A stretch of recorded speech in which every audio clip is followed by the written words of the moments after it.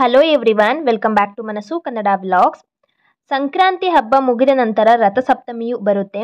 ರಥಸಪ್ತಮಿಯನ್ನು ಅಚಲ ಸಪ್ತಮಿ ಅಂತಲೂ ಕೂಡ ಕರೀತಾರೆ. ಹಾಗೆಯೇ ಮಾಘ ಸಪ್ತಮಿ, ಮಾಘ ಜಯಂತಿ, ಸೂರ್ಯ ಜಯಂತಿ ಅಂತಲೂ ಕೂಡ ಕರೀತಾರೆ. ರಥಸಪ್ತಮಿಯ ದಿನದಂದು ಸೂರ್ಯನ ಬೆಳಕು ಭೂಮಿಯ ಮೇಲೆ ಹೆಚ್ಚಾಗಿ ಬೀಳುತ್ತದೆ ಅಂತೆ.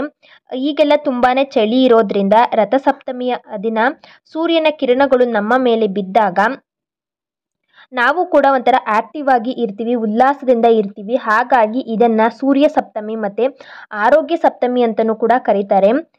ಹಿಂದೂ ಪಂಚಾಂಗದ ಪ್ರಕಾರ ರಥಸಪ್ತಮಿಯು ಮಾಘ ತಿಂಗಳ ಶುಕ್ಲ ಪಕ್ಷದ ಏಳನೇ ದಿನ ಬರುವುದು. ಈ ಬಾರಿ ರಥಸಪ್ತಮಿಯು ಯಾವಾಗ ಬಂದಿದೆ ಹಾಗೇನೆ ಪೂಜಾ ಸಮಯ ಮಹತ್ವವೇನು? ಹಾಗೆ ರಥಸಪ್ತಮಿಯನ್ನ ಹೇಗೆ ಆಚರಿಸಬೇಕು ಅನ್ನೋದನ್ನೆಲ್ಲವನ್ನು ಕೂಡ ಇವತ್ತಿನ ವಿಡಿಯೋದಲ್ಲಿ ತಿಳಿಸ್ಕೊಡ್ತಾ ಇದ್ದೀನಿ. ಪ್ಲೀಸ್ ನನ್ನ ಚಾನಲ್ಗೆ ಸಬ್ಸ್ಕ್ರೈಬ್ ಮಾಡ್ಕೊಳ್ಳಿ. ಹಾಗೆ ಪಕ್ಕದಲ್ಲಿರುವ ಬೆಲ್ ಐಕಾನ್ನ ತಪ್ಪದೆ ಕ್ಲಿಕ್ ಮಾಡಿ. ಮಾಘ ಮಾಸದ ಶುಕ್ಲ ಪಕ್ಷದ ಸಪ್ತಮಿ ತಿಥಿಯು ಜನವರಿ ಇಪ್ಪತ್ತೇಳನೇ ತಾರೀಕು ಶುಕ್ರವಾರದ ದಿನ ಬೆಳಗ್ಗೆ ಒಂಬತ್ತು ಗಂಟೆ ಹನ್ನೊಂದು ನಿಮಿಷಕ್ಕೆ ಪ್ರಾರಂಭವಾದರೆ ಜನವರಿ ಇಪ್ಪತ್ತೆಂಟನೇ ತಾರೀಕು ಶನಿವಾರ ಬೆಳಗ್ಗೆ ಎಂಟು ಗಂಟೆ ನಲವತ್ನಾಲ್ಕು ನಿಮಿಷಕ್ಕೆ ಮುಕ್ತಾಯವಾಗುತ್ತೆ.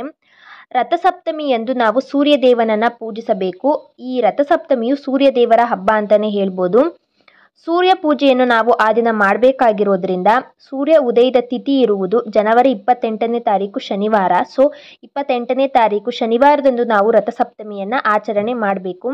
ಮಾಘ ಶುಕ್ಲದ ಸಪ್ತಮಿಯಂದು ಸೂರ್ಯದೇವನು ಜನಿಸಿದನಂತೆ ಆ ದಿನ ಸೂರ್ಯನನ್ನು ಪೂಜಿಸಿದರೆ ಏಳು ಜನ್ಮಗಳ ನಮ್ಮ ಪಾಪ ಕೂಡ ದೂರವಾಗುತ್ತದೆ. ಹಾಗೆಯೇ ಆರೋಗ್ಯ ವೃದ್ಧಿಗಾಗಿ ದೀರ್ಘಾಯುಷ್ಯಕ್ಕಾಗಿ ರಥಸಪ್ತಮಿಯ ದಿನದಂದು ಸೂರ್ಯದೇವನನ್ನು ಪೂಜಿಸಬೇಕು.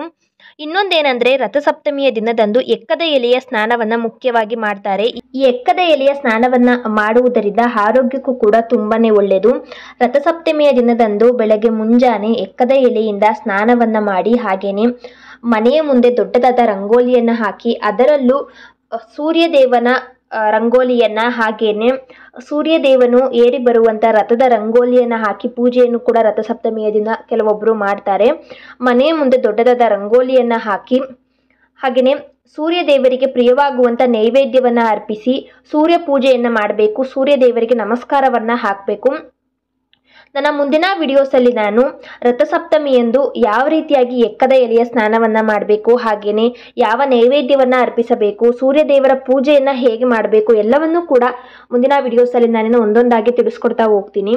ಇವತ್ತಿನ ಈ ವಿಡಿಯೋ ನಿಮ್ಗೆಲ್ಲರಿಗೂ ಇಷ್ಟ ಆಗಿದ್ರೆ ಪ್ಲೀಸ್ ಒಂದು ಲೈಕ್ ಕೊಡಿ, ಕಮೆಂಟ್ ಮಾಡಿ, ಹಾಗೆ ನಿಮ್ಮ ಫ್ರೆಂಡ್ಸ್ ಜೊತೆ ಈ ವಿಡಿಯೋನ ಶೇರ್ ಮಾಡಿ ಹಾಗೆಯೇ ನನ್ನ ಚಾನಲ್ಗೆ ಯಾವಾಗಲೂ ಸಪೋರ್ಟ್ ಮಾಡ್ತಾ ಇರಿ.